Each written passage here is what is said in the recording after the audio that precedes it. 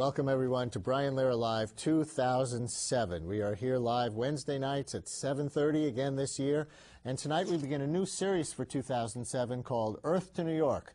Part 1 tonight, Ethiopia to New York. This comes at a time when Ethiopia and the United States are both fighting Al Qaeda in Somalia, and Oxfam and Starbucks have released dueling videos about living conditions for Ethiopian coffee farmers. We'll show you those videos and we'll update the Sean, Sean Bell shooting investigation tonight and take your calls on the Sean Bell case. But first, we've been checking out web video, and here are two things you may find interesting. Number one, you know about the cell phone video of Saddam Hussein's hanging, and you've seen it if you wanted to. But the hanging itself has also spawned a generation of hanging video mashups and satire some in fairly good taste, some not so. We chose one video from YouTube to represent the new user-generated world where even something as solemn as an execution can be anyone's media Lego plaything.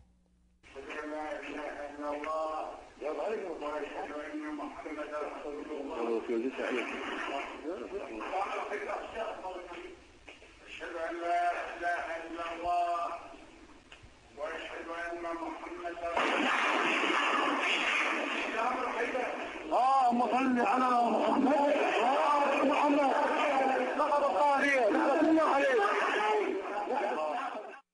So somebody took the real audio from the execution and those Lego characters and mashed them up, and this is getting thousands of hits on the web. This is kind of the kind of thing people are watching today. By the way, Saddam, your execution may have been botched by the thuggish new Shiite government, but may you rot in hell for your genocidal murder.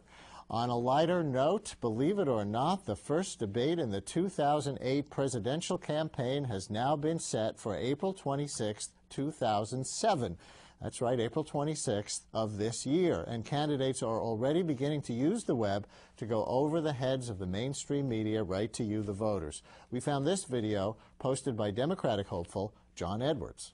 I've come to the personal conclusion that I actually walk the country to see who I am, who I really am. But I don't know what the result of that will be. But for me personally, I'd rather be successful or unsuccessful based on who I really am, not based on some plastic Ken doll that you put up in front of audiences. I, that's not me, you know.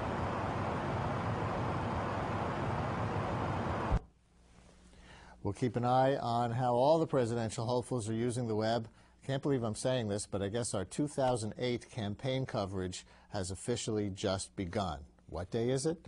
Now, as I said before, we begin a new series tonight called Earth to New York. In each episode of this series, we will check out reality in one nation on Earth that's been in the news or should be in the news, and also check out the local community from that nation since New York has people from everywhere on Earth. We begin this series with part one, Ethiopia to New York. Now, Ethiopia is in the news this week for two reasons. Ethiopian troops and U.S. warplanes have both been fighting Al Qaeda in Somalia, and because Starbucks and Oxfam have released dueling videos onto the web about how Starbucks treats Ethiopian coffee growers. Let's begin right there. Oxfam, the Global Relief and Development Organization, fired the first video shot. Here it is. We're down here in Seattle, the home to Starbucks Coffee and we're out here today to tell Starbucks to honor their commitment to Ethiopian coffee farmers. Ethiopia is the birthplace of coffee, and millions of people depend on it for their livelihood. Some of the world's finest coffees come from Ethiopia. Ethiopian farmers receive an average of 3 cents per cup of coffee that Starbucks sells. People are speaking out today in countries all over the world, in cities all over the world, including London, Sydney, Australia, Addis Ababa, and Germany and Ireland and here in Seattle. We are Ethiopian Americans and we fully support Ethiopia's step to trademark its coffee names. Yes, I think it's awful they only get three cents. I think they should get more than three cents. They should give them better prices and more money. We got together local fair trade activists and people from the Ethiopian community that are in support of improving the livelihood of Ethiopians. You know, one of the poorest countries in the world. I would urge Starbucks to respect this project and to help pass more profits down to Ethiopian farmers. It's a great idea. Some people are walking by and they, they see the sign that says only three cents is going to the farmer. They don't realize that at the beginning of the supply chain, there's people that are getting almost nothing. Three cents is, is beyond an insult. The names are rightfully theirs, and it's not up to Starbucks to stop the Ethiopians from having the opportunity to improve their, their way of life. Starbucks did not take that video lying down, but rather than work through old media TV, Starbucks released its response video directly onto YouTube.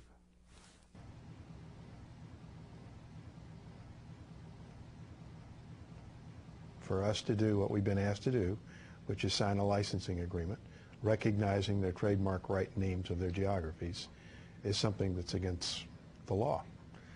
U.S. law does have uh, an allowance for this. It's a specific allowance called certification. And we have proposed this as an alternative.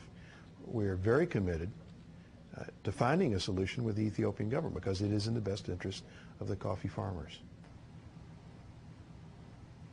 We pay more than fairly. We pay sometimes multiples of the commodity price, and uh, in the past two years, we paid over the fair trade pricing average. But again, we're trying to make sure that these farmers are in business. We're not trying to see what we can save on procuring green coffee. In Ethiopia, for example, we have invested more than $2.4 million in the last few years just in social development projects, trying to help farmers improve their lives in the communities that grow our coffee. Uh, we've done water projects. We've built schools and libraries. Uh, so all of these are also part of the price that, that we invest in these communities to make sure we continue to get the coffees that we're looking for. Is that guy's name really Dub Hay? So we've seen Oxfam's pointed J'accuse and Starbucks talking head reply. It's Ethiopia to New York on Brian Lehrer Live tonight. Let's learn more with Josh, Josh Ruxin, a professor of public health at Columbia University who has just arrived in New York today from Rwanda. He works with several organizations over there, including the Mailman School of Public Health at Columbia and Columbia's Earth Institute. And Liben Eabisa, founder and publisher of Tadias, an Ethiopian American magazine. And Tadias to you, since that means hello, doesn't it? Tadias, thank you, Brian. Thank you very much for coming. Josh, thank you very much for coming. Thanks for having um, me. Josh, you don't look at all like you're jet lagged after just flying in from Rwanda. It Are must you, be that Starbucks coffee I had on my way over. Are you, was that a product placement? Are you familiar with the conditions of Ethiopian coffee growers?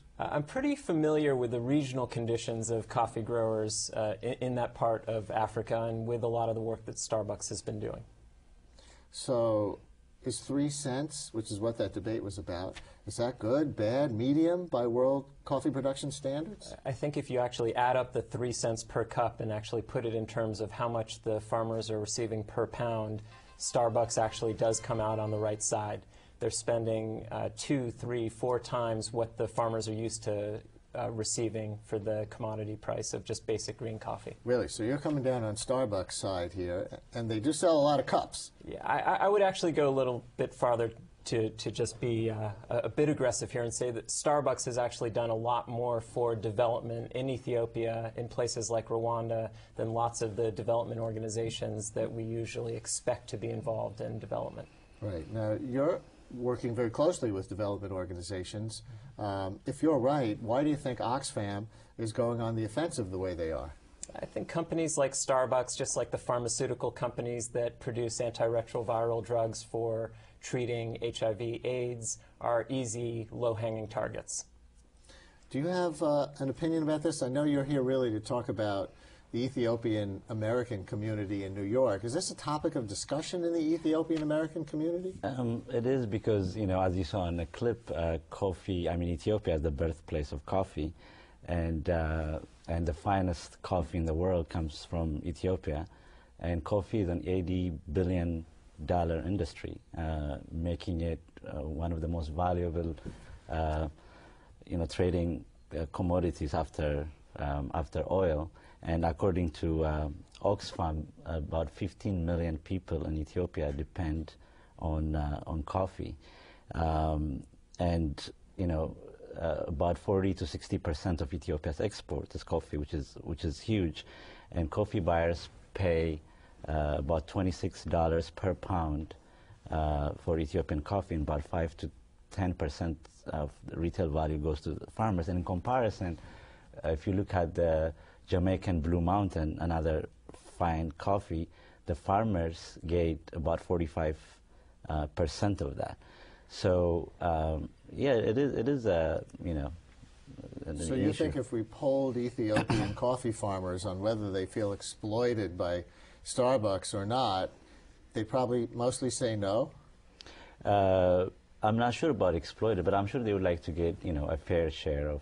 Um, Anybody would like to get as much as Yeah. possible. Is this a traditional Ethiopian crop, or in the globalized economy, is this just a crop for export?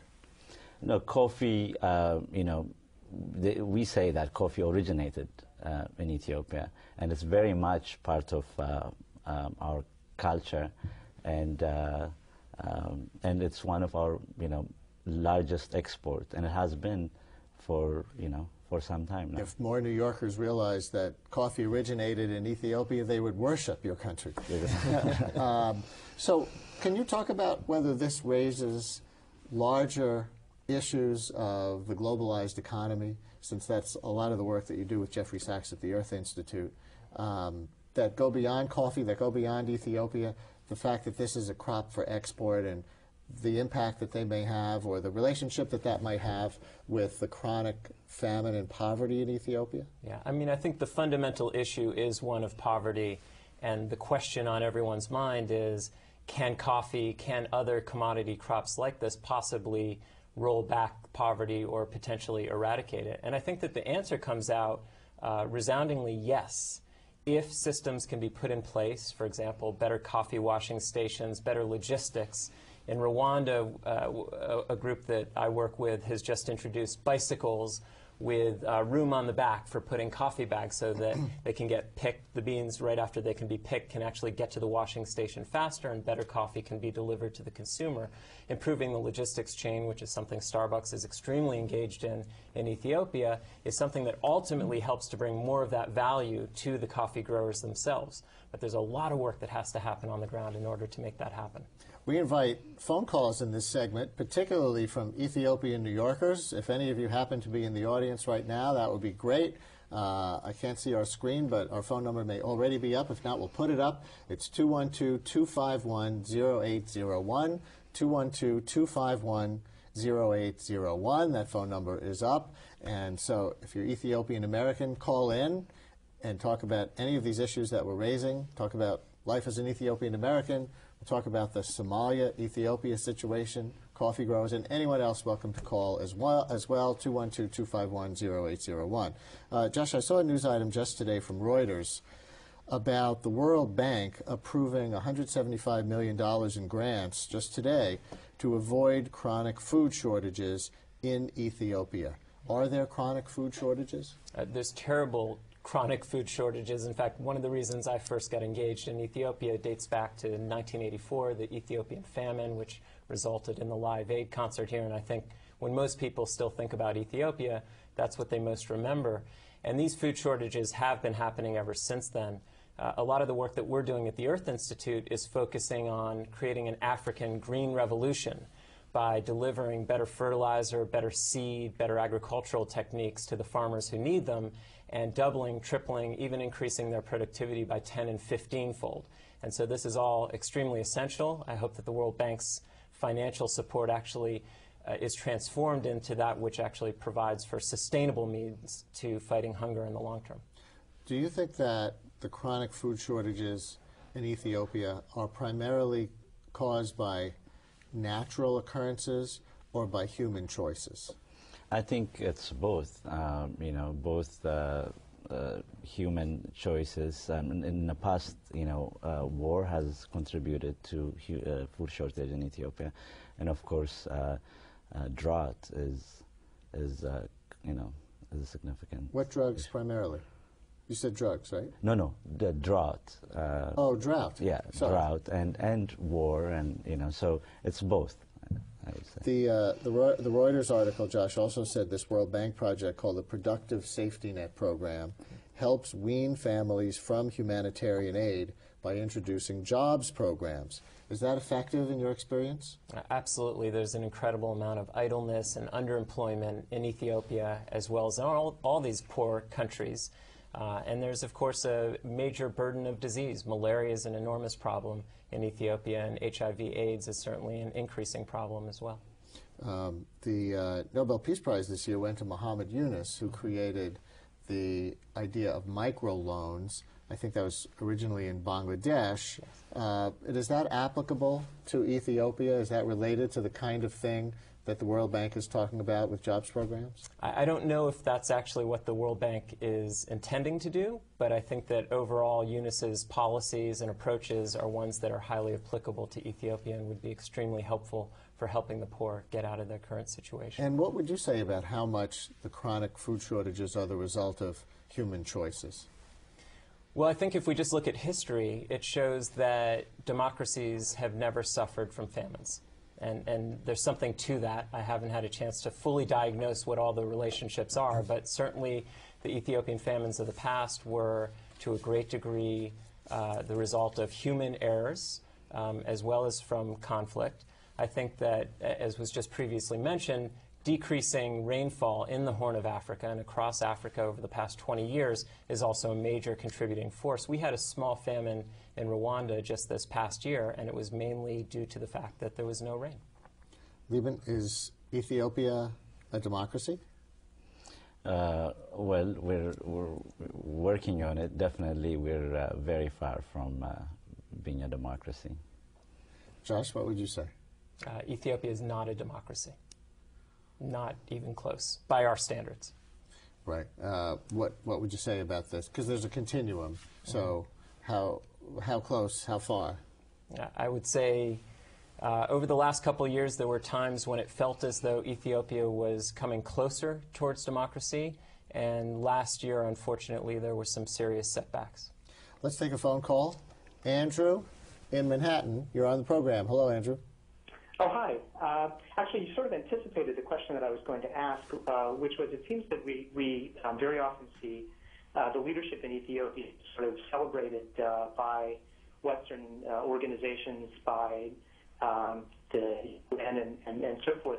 Whereas, in fact, their, their record on the ground in Ethiopia, uh, Ethiopia is pretty awful, um, pretty repressive, and in fact, maybe worse now than it was a few years ago in the wake of the Eritrean War and and so forth. And I'm I'm wondering if maybe we're not being too uh, uh, too soft on this leadership because they were able to topple a bad dictator and achieve some gains, and in fact, we should be quite a bit uh, more demanding of them in terms of democracy.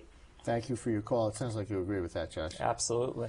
All right. Uh, now this. Um, this, the, this World Bank grant, in issuing these grants, the World Bank made a point of saying they would not be affected by Ethiopia fighting Islamists in neighboring Somalia. And of course, this has been in the news.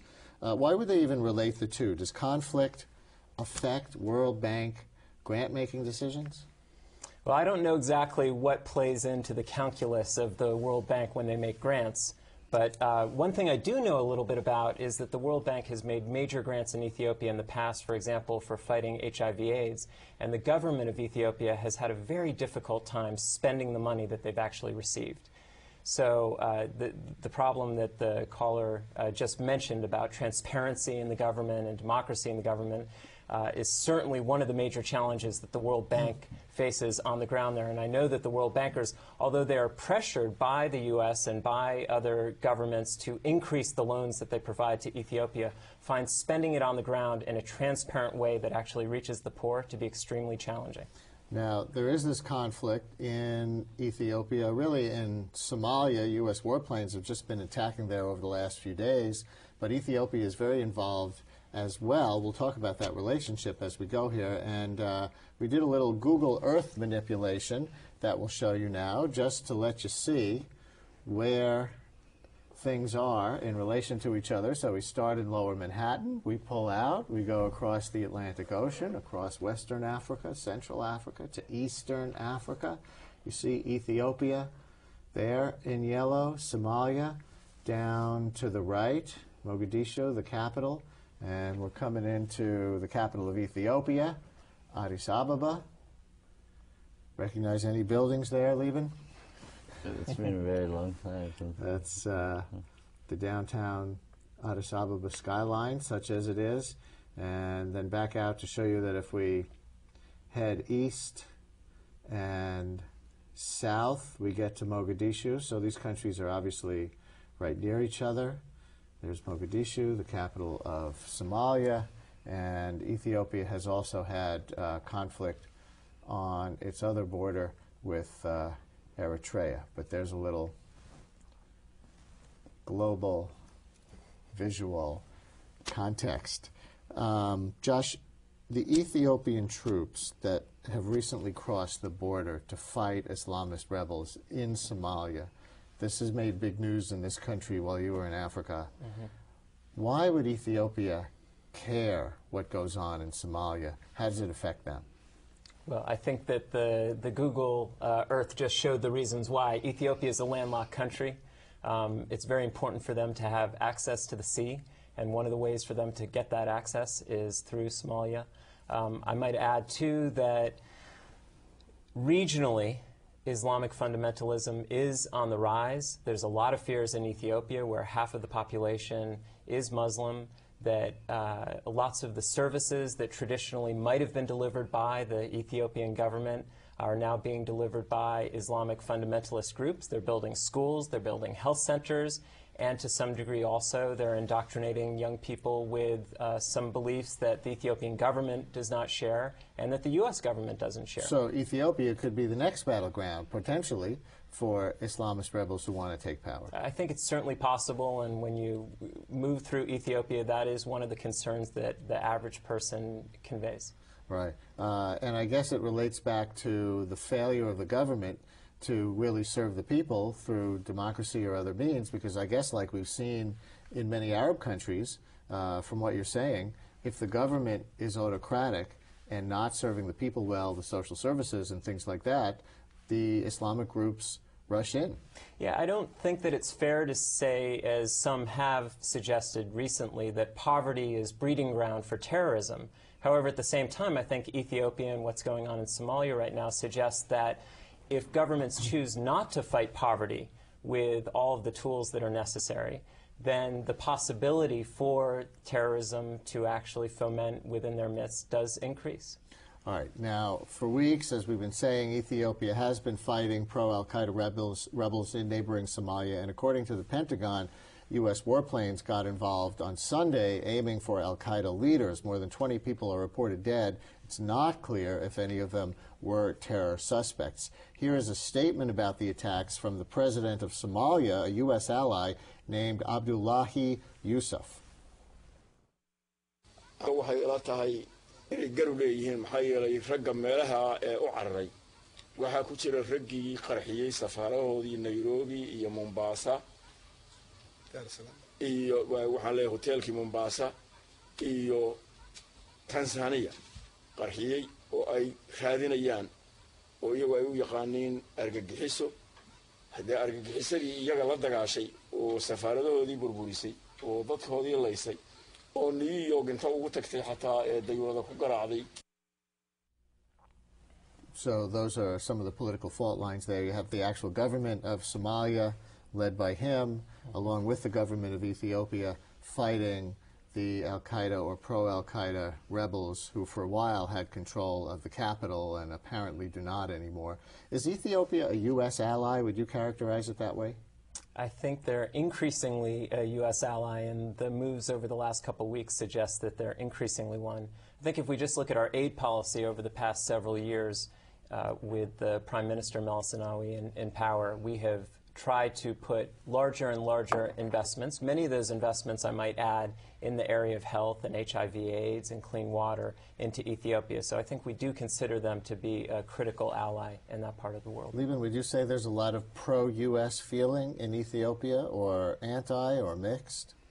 Um, you know, I'm not really, I, I haven't been, um, I'm an Ethiopian American lifestyle and business magazine publisher. uh, and I haven't been in the country. Uh, How about among the Ethiopian uh, American community members? Is there much talk about the global situation and Al Qaeda and U.S. role in the world and U.S. role in their country? Um, I'm sure, and, and there is you know diverse views within the community because the community, the Ethiopian community, is very very diverse. Uh, but in my line of work, um, I It's not know, what you're usually- focusing on. That's not what I focus Okay, on. Okay, well, we'll come back to, to stuff that you are focusing on in a bit. But Amina in Parkchester in the Bronx. Hi, you're on the program. Thanks for calling. Hi, thank you for the show. I I appreciate your coverage uh, to that region. It's very important right now. Thank you. I was just uh, wondering, you know, if Ethiopia is not a democratic country, what kind of uh, support? I mean, what does it have? Uh, the impact it has on this uh, so-called new government right now. I mean, what are they going to do in Somalia? I mean, first of all, to invade the country is is against the law, the international law, and uh, it's something very very sad. And but this country has been on the war for almost 16 years now. I personally lived in Somalia. I have been to Ethiopia, and I can tell you it's not a democracy. It wasn't there, and it's not now. And I don't think they're supporting any democratic government. And I really very skeptical about this new Somali uh, government. And it's just a big sad story. Very sorry for the people who are losing their life for no reasons, you know. Who are the good guys? If the current Somali government, There's no good guys that I can really tell you. yeah, The Islamists were not, but at least the country was in a peaceful situation, and I would prefer the Somali people to make the decision to get rid of those Islamists. Personally, I was against them because of their rules. I don't allow, I don't really accept, but I would love to leave that for the Somali people, no other uh, foreign countries. Amina, thank you very much. Josh, Thank you want to react to that? But I quick reaction is that I'm not sure that the Somali people on their own were capable of overthrowing the Islamists who were in power at the time. If they had had that opportunity, they probably would have taken it. But I think one thing that's important to take a look at is how all this is interconnected. It was back in the early 1990s when the U.S. lost a number of soldiers. I think the number was 18 in Somalia. We pulled out, and it was within a year or so of that that the genocide broke out in Rwanda, where we chose not to intervene. And so I think that there's a history in that part of the continent of choosing to intervene or not to intervene, and there have been great ramifications to those actions uh, for good and for bad. And right now, I think the choice of the Ethiopians and of the Americans was this is time to intervene. J.O. in Manhattan, you're on the air. Hello. Hello. Um, I had a question. Uh, we read that um, I believe Ethiopia is about 60% Muslim, 40% Christian, and I read a lot about the Muslims becoming radicalized because of poverty and repression. And I haven't heard anything about the Christian population, the minority, becoming radicalized as well under the same conditions. Um, is, is there any explanation for that? Josh? I don't personally have a good explanation for that. Um, I, I think that uh, in general, a lot of the leadership posts have tended to be with the Christians, um, but I'm not sure if that has actually played a major role in radicalization. Well, we talked about the chronic poverty and food shortages in Ethiopia. Are they weighted toward the Muslim population? If I were to ask you who does well in Ethiopia, would the answer be largely the Christian community, or doesn't it break down that way? I, I don't think that it breaks down that way because if uh, I look at some of the work that we're doing in Ethiopia in a place called Koraro, about half of the population is Christian, about half is Muslim, and they work together in the community on agricultural interventions and health interventions together. So I don't think that there is that type of differential in who's receiving help. So, Liben, there is an Ethiopian American community in New York. Mm-hmm. How many Ethiopians live here? Well, we don't have an accurate number, but according to the last U.S. Uh, uh, census, uh, Ethiopians rank as one of the top three uh, largest African uh, population um, in the United States. And according to the Brookings uh, Institution, 40% of African-born population in America reside in four states: Maryland, Texas, California, and New York. Um, and your magazine is a business and lifestyle magazine a- yeah. for all those immigrants all over the country. all over the country, and but uh, and African-born residents Yes. uh, in the U.S. are highly educated, urbanized, and have one of the highest per capita incomes uh, with other uh, from other uh, immigrant groups. Right. And, would, would Ethiopian New Yorkers tend to work in certain jobs or professions? Yeah, so the Ethiopian population in New York mirrors that national uh, statistics, and the Ethiopian Americans in New York are professionally very diverse. Uh, we have lawyers, we have investment bankers, uh, we have people in the fashion industry, uh, supermodels, we have artists, uh, we have uh, publishers, of course. There's no, there's no little Ethiopia, no real Ethiopian neighborhood, is there? Uh, in, in in America, there is uh, Los Angeles has Little Ethiopia, Ah. and actually one of the first uh, uh, neighborhoods named after an African country, I think. Um, and there is also a movement in Washington D.C. because Washington D.C., Maryland, Virginia area has one of the largest Ethiopian population outside of Ethiopia. When I was in Minneapolis, Minnesota, I was surprised to see a big Ethiopian restaurant right downtown. Are there many Ethiopians in the upper Midwest? Yes, uh, there is. A, a, you know, there are pockets of large Ethiopian population, and, and as you said, in Minnesota and Los Angeles, Atlanta. Um, Now, that and- must and be a shock to move from Ethiopia to Minnesota. Maybe the weather. exactly. What about New York? But in New York, um, as I said, you know, professionally we're very diverse. Uh, but you know, New York also being New York, you know, so it's a tough city, it's, it's dynamic, but it's very expensive. So the uh, Ethiopians in New York tend to be highly educated, um, and uh, they're educated and, and professional group. But there is, um, and uh, a, a large uh, group of Ethiopians are now sort of, you know, moving into um, uptown Harlem area as well. Northern Harlem? Northern Harlem. 160th Street around I. I would say anywhere between, you know, 145 to, yeah. You know, I, I read an article that said that this is a problem for Ethiopians trying to uh, acculturate to the United States when they come here. The fact that there's no central community in New York, and they find themselves scattered, living among a lot of various kinds of Latino immigrants in many cases, and that it makes it harder to learn English, it makes it harder to have the kinds of personal connections that help people get settled and established in New York. Do you believe that's a problem? Well, it wasn't a problem for me when I moved when I moved to New York, but it is true. I mean, you know, uh, people live in the tri-boroughs scattered, but we do get together, you know, in various uh, Ethiopian restaurants in the city, um, and also for you know concerts, um, and there are various churches in the city, and art shows and things like that. So. Now, when we searched Ethiopia on YouTube, we found a huge number of music videos. Let's watch part of one, and then we'll talk about the role of music in Ethiopian life.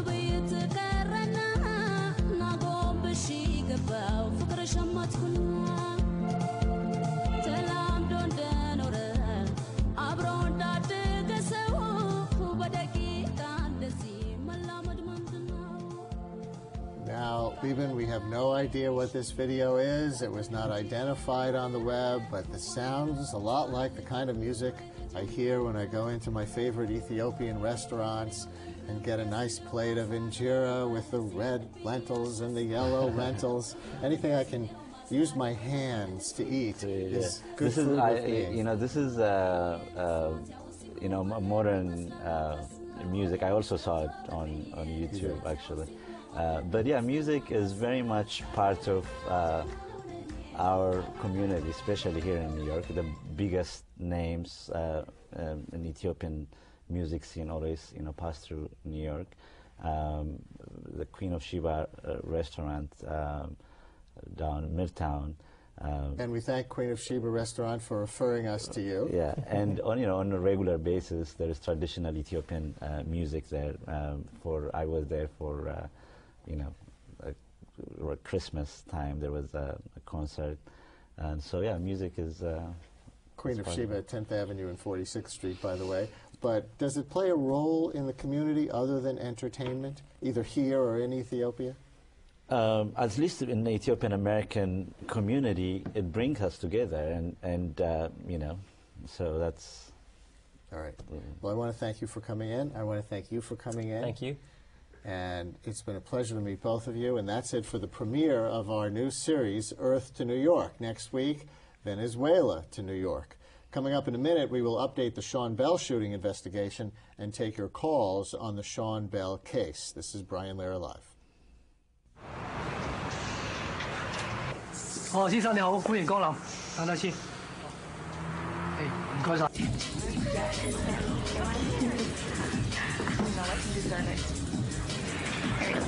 Brandon.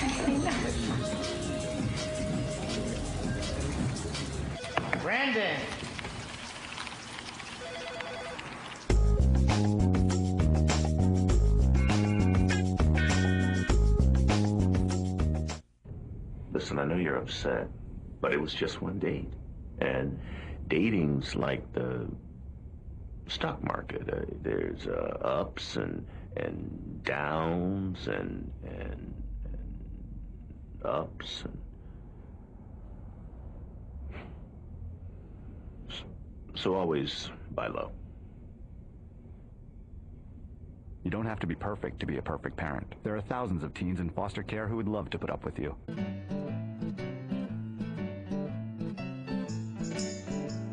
This is CUNY TV, the City University of New York.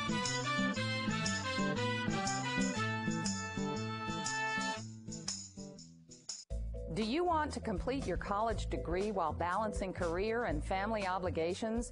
Do you want a flexible schedule and a challenging curriculum? If you've earned at least 30 credits or an associate degree, now's your chance to finish what you started at CUNY. Learn about CUNY's online baccalaureate in communication and culture. Visit cuny.edu slash online or call 212-652-CUNY. This is Brian Lehrer Live 2007. We are here live Wednesday nights at 7:30 again this year, a year that begins with suspense about whether any police officers will be indicted in the 50-shot barrage in the Sean Bell case. A Queens grand jury is now in the process of making that decision. We will update the Sean Bell case and talk about some of the issues that are continuing to emerge from the deadly incident, and we'll take your calls. With me now are two guests. City Councilman James Sanders, who represents the Queens neighborhood where Sean Bell lived, and Edward Mamet, a retired NYPD captain and a frequent expert witness on police procedure. You've both been with me on the radio show. Nice to have you on the television side. Good evening. Welcome to the program. Good Uh. Councilman Sanders, the, the grand jury has now been impaneled, according to press reports. What actual crimes will they consider charging the police officers with? Oh, I'm not an expert on the, the crimes themselves that they would charge, but if, were they to ask my opinion, uh, I would charge them with everything from breaking, of course, the internal matter, breaking police protocol and procedure, but externally, I, I think that we'd even have to look at the, the charge of uh, murder, perhaps uh, aggravated or involuntary. Um, breaking police procedure, is that a criminal offense? No, that's strictly uh, administrative. That's a, it may be a violation of police department uh, practice, but that's not criminal. And in terms of possible aggravated homicide, uh, you know, accidental, how, however the, the, well, do you want to say what you think they're considering in terms of potential charges? Well, they're probably considering the entire range of homicide offenses, which would begin from the lowest offense, which would be a negligent homicide, um, to uh, premeditated uh, murder, which is an extreme. I doubt whether it'll ever reach that stage, um, because as far as I'm concerned, this was not an intentional killing. It was um, not in their mind to kill anybody. What's the role of Queens District Attorney Richard Brown in this? The cliche is a DA can indict a ham sandwich if he wants to, even though it's the grand jury that makes the decision. Well, that's true because the DA controls who the witnesses are, and the DA controls how the proceedings take place. Um, if the DA is really fair about it, is not looking to make a political statement, um, he, uh, the DA will consider all witnesses and allow the grand jurors to ask questions. That's how it works. Councilman, the, uh, the Bell family has called for the DA to be replaced by a special prosecutor. I know there's division among some of the leaders in the community as to whether that's necessary or desirable. Do you have a position on this? It's true that the mother and father of Sean Bell have called for it. Uh, I haven't heard that from my other constituents, uh, Nicole Bell and and uh, the other the Guzman family and other families. Uh, this is a tough spot for everyone. Uh, on one hand, the community is saying that we want a free and fair uh, investigation of this whole process. And in that, we're putting a lot of faith in D.A. Brown. At this moment, I'm going to go with uh, the question of faith, with the with an article of faith, and we are going to stick with uh, putting faith in the DA. We truly hope that we will not be let down. And uh, we are opening up the phones. We can take any of your comments about the Sean Bell case and what you think should happen with the grand jury or any of your questions about some of the aspects of police procedure. We have a retired captain here, any of the uh, political aspects for the councilman, questions of policy, whatever. 212 281 251 0801. 212 251 0801. We all have too many phone numbers in our lives. Um, Captain, I want to get back to this question of police procedure and what role following police procedure might play indirectly in the decision to indict because there are questions about whether the undercover officers involved followed the rules on how to identify themselves as cops, whether they're allowed to shoot at a vehicle with no one firing at them, and the three shots and pause rule. These are departmental rules, but there's violating them, if they violated them, make a criminal indictment easier to obtain? First of all, they're not rules, they're guides. There's no such thing as a three shot rule. When I first uh, entered the police department, we had six shot uh, revolvers, and we were trained to fire all six at one time, not take a chance and miss. The, three shot practice is, is just a, um, a technique that is taught to police officers, but it's not a rule. Uh, it's used really to um, conserve ammunition, not overfire, and see if you hit your target. Um, as far as the not shooting at uh, vehicles, that again, that's a police department guideline, not to shoot at a moving vehicle. Uh, it's kind of uh, strict, and I doubt very much whether I would restrain myself. if a vehicle were coming at me and I was trapped and I had nowhere to go, I wouldn't care about the police rule. I would open fire. Why is that a rule? Give us the context on that, or a guideline, because it is a guideline. Commissioner Kelly confirmed it to me in a radio interview that that is a guideline. You're not supposed to shoot at a moving vehicle in most cases unless somebody is shooting a gun at you from it. That's true, and that's the national standard. There are several reasons. One is most of the time you fire at the vehicle, you miss, and you might hit an innocent bystander. Um, the most important thing is if you disable the vehicle, let's say you blow out a tire, or you hit the driver, a driver is killed or wounded, the car will go out of control and probably um, uh, may kill somebody or cause major damage. So that's the reason we're not shooting at the moving vehicle. And the guide is not to shoot at a moving vehicle unless deadly physical force is being used or, uh, from the vehicle, but not the vehicle itself. It's a complicated rule that a lot of police officers don't understand. I had problems with it. Let's take a phone call. This is Harrison in East Flatbush. You're on the air, Harrison. Hello. Yeah, hello. Yeah, good afternoon. Um, my my um, opinion about the whole situation is I felt like the police officers they've been violating. Um, I mean, the black community for a long time. I mean, as far as like if you go back to the history, how many shootings they have, they have broke. Uh, in this situation with Sean Bell, I felt like they violated a lot of um, police procedures, and I feel if we let the community, if we keep on letting them do that to to black people all the time like this is is going to be a never-ending situation. Something has to be done. Like the police department has to, you know, go over procedures with these police officers, that train them betterly or something, so th- these things won't keep continue going on with our people. Thank, thank you very much, Harrison.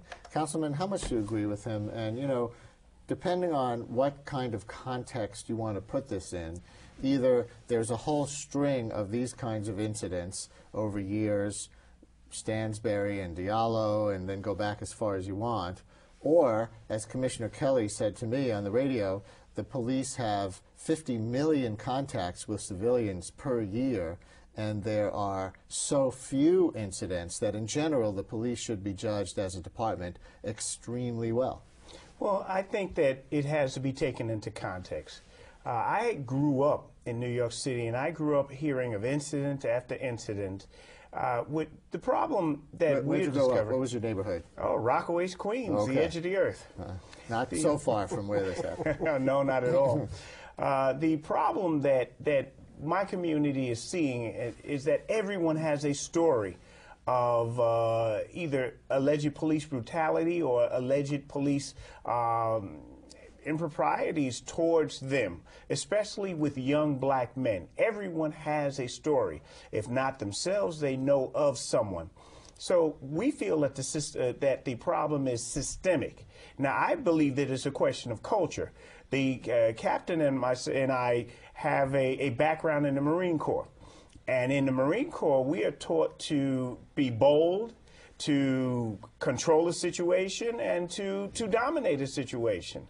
Uh, the thing that stops us from running amok, if you wish, is that we are taught to have respect and there's contr- uh, command and control.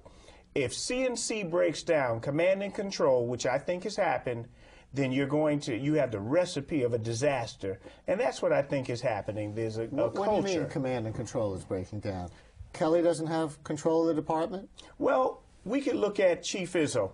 We could look and see how uh, he wanted these units under his direct command and therefore moved uh, some other worthy uh, high ranking officials out of the way so that he could command all of this. Now, Chief Izzo, of course, has the reputation of being called Tough Tony Izzo, and uh, he runs a hard charging outfit. And that means that he's in charge and that he should go under these conditions. Captain. I have an idea what he's talking about. I, I definitely don't agree with him. Um, Commissioner Kelly's right. 50 million incidents, uh, 50 million responses or contacts a year is an awful lot. And I think I was telling you that the other day on the radio, that if you look at the number of police contacts per day in New York City, New York City has one of the lowest firearms discharge rates in the country. And we're a huge, it's a huge, I'm not in it anymore, but I keep saying we are. It's a huge department. Uh, and it's unfortunate that this has turned into a racial issue because uh, I think people are forgetting that out of, of the five police officers that fired, uh, two were black, one was Hispanic. Uh, the undercover was black, and he fired the first shot. Um, and, and to make it into a racial issue. I don't issue think it was wrong. an African American who fired the first shot. I think it was a Hispanic officer. What do you know? actually, it was the white officer, but but Well, the white officer fired the 31 shots. Yes. But not the first shot, But the question is the, the the real situation is not whether it's black and white. Black people can be as prejudiced against black people as anyone else. I say that is a, it is a culture Wait, is that among the really police. true? Black people can be as prejudiced as against black people as anyone they else? are as human as any other people out, and we can be as as as prejudiced as anyone if we're in an organization that prides itself in a certain uh, macho culture and that denigrates certain communities. It's not simply the question of how many bullets are fired, which which is horrendous, nor how many uh, how many dis- uh, weapon discharges.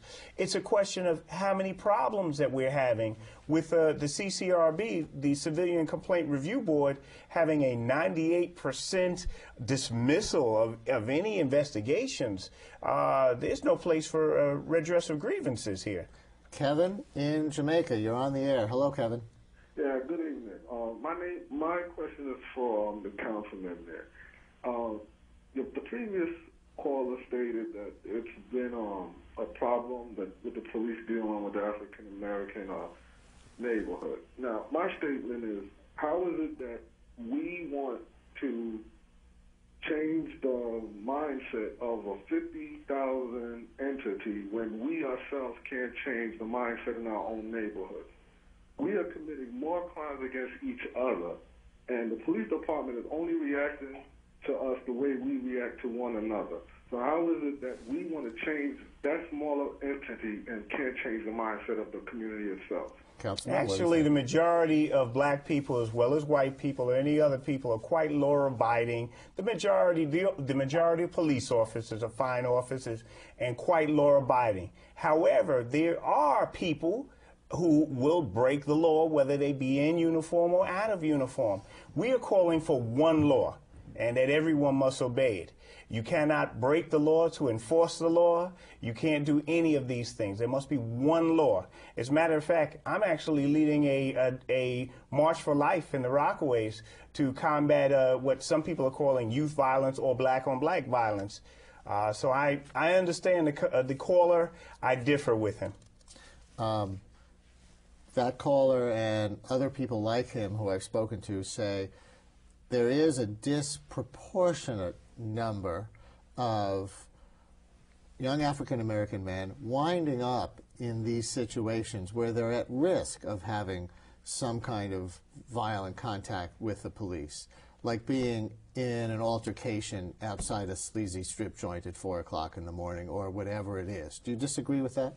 Well, uh, anyone could. Strip joints are not the only places that people will find themselves in. Uh, it is. Quite legal in this country, and even though we may differ, it, you certainly can be there. Now, I think that this is the only community that must teach its young people how to survive an altercation with the police. And I think that there's something sad about that. Uh, I think that there's something un American about that, and we need to address that. We need to address it internally, and that's why I'm leading my, my demonstrations and, and workshops that I'm doing. But we also say that there must be one law, and you cannot break the law to uphold the law.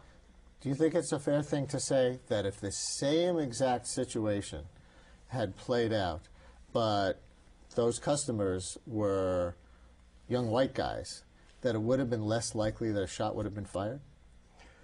No, because I'll tell you, I'll tell you why. These, uh, you know, we've talked about contagious shooting.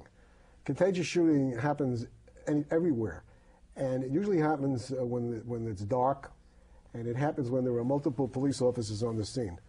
Um, the But phenomenon. the first shot had to have been fired. That's the biggest issue, isn't Well, it? the first shot was fired, according to the accounts that I've heard and you've heard, by the undercover who says he was struck by the vehicle.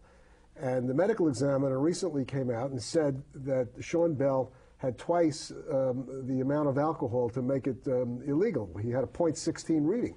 You only need .8, I believe, for a DWI offense. They haven't measured the cop's alcohol level, and he was very likely in there drinking too, right? Yeah, but that doesn't make it mean he was drunk. Look, I did undercover work for five years, and I've been in these situations too. You have to mix in with the people you're trying to um, nail. Um, so if you have a drink or two, that doesn't make you a drunk. No, but the shooting happened of unarmed people, and no test was done. A test was done on Sean Bell. Is that fair when you get into the legal arena? Well, the test wasn't done deliberately. I mean, he's dead, and when there's an autopsy, the, the, the blood is always tested. I mean, they didn't single him out for an alcohol test. And police officers are not like railroad workers and airline pilots. Uh, when after there's an event, they're tested. Now, that may come around as a result of this. I don't know. Maybe the councilman might introduce legislation Absolutely. to have police officers tested. But I can tell you one thing: if they do that, there's going to be a major fight with the unions. So be it. Can I, can I just ask one question? If anyone can point to an incident of this happening in the white community, uh, all of these incidents seem to happen in communities of color. I remember one community in Borough Park stormed the precinct, uh, overturned desk. Not a soul was was shot. Uh, I can't find an incident of this happening in any community except communities of color, especially the black community. Mr. Mamet? I disagree. About uh, five years ago, Gidone Busch was shot and killed. He was a Hasidic Jew. Do you remember this in, in uh, I Borough remember Park? He was a disturbed man waving a waving hammer. a hammer. there were about five or six police officers on on the scene. Conceded, can you name one more? Just one more. If I think hard enough, I will. But this is a case. It was all white, and he was killed. And how do I know about it? Because I was involved in that case. What what what do you think, um, Mr. Mamet, about the role of Detectives Union Chief Michael Palladino in this whole affair? He's been raising questions of what Sean Bell did for a living and saying Al Sharpton is trying to deny the officers their civil rights by staging a civil rights march. Is he a threat to police community relations the way he's going about defending his members? No, no, I know, I know Mike uh, quite well. In fact, I've, uh, I may be, I'm a consultant to the Detectives Endowment Association. He's a Thank very, you for the full disclosure. He's a very good leader. He's doing what his membership wants. He's, he's, if he's fighting for them. Uh, Sean Bell's uh, work, I don't know if that, that, that really matters, but um, Mike is doing what any union leader would do. He doesn't want these detectives railroaded, and that's what's, what Sharpton and his people are trying to do. They want to rush to judgment, and they want an indictment no matter what. And it's a win, it's a lose-lose situation. You want to disagree Well, a rush to judgment. Um, I think that the people of New York City, let's forget uh, the Reverend Sharpton, Reverend Dr. Sharpton for a second. People are focusing too much there. Uh, there would be no need for a Reverend Sharpton if there were not incidents of this nature. Uh, Reverend Sharpton didn't shoot anyone. He didn't force any of these things to happen. We should not focus there. We should look at the facts of the ground. Reverend Sharpton, to be honest, has not called for the dismissal of the DA and is saying that the DA should have a free and fair investigation. Uh, I know uh, Mr. Palladino also. We're 30 seconds away from being done. Will this just come down to he said versus he said on whether the police officer properly identified himself and kind of hang on who the grand jury believes? If there's a free and fair investigation, we will come up with justice. If there is not, it will be justice denied. Five seconds. Um, it depends on who the witnesses are and what evidence is available. All right. Thank you both. Obviously, this continues, and that's it for tonight's show. We're here live Wednesday nights at 7:30. Next week, Earth to New York, Part Two, Venezuela to New York, and don't forget to check out my daily radio show on WNYC 93.9 FM and AM 820 weekday mornings at 10. Tomorrow morning, your reactions to President Bush's Iraq speech tonight. Have a great night.